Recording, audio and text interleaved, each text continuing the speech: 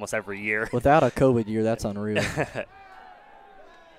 Lynch looking deep again, looking towards Johnson. He hauls it in and walks into the end zone. A 22 yard strike from Jaquan Lynch, seventh touchdown of the season for Cameron Johnson, and Barton strikes first. Uh, handoff to Hazel, actually play action, going Oh, deep. look at that. Looking for Wilson, wide open ahead of the defense. Wilson takes it to the house, 72 yards on the first play from scrimmage, and the Fleet strike back. I think that was a big time throw, Ben.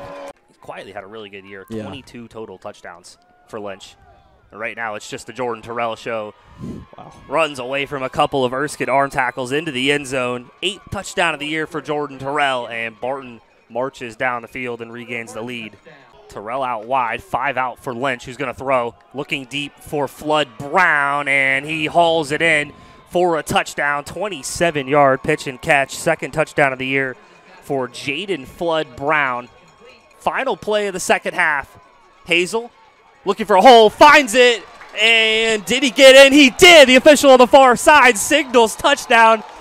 Hazel barely got the nose of the ball across the goal line, and the Fleet score on the final play of the first half.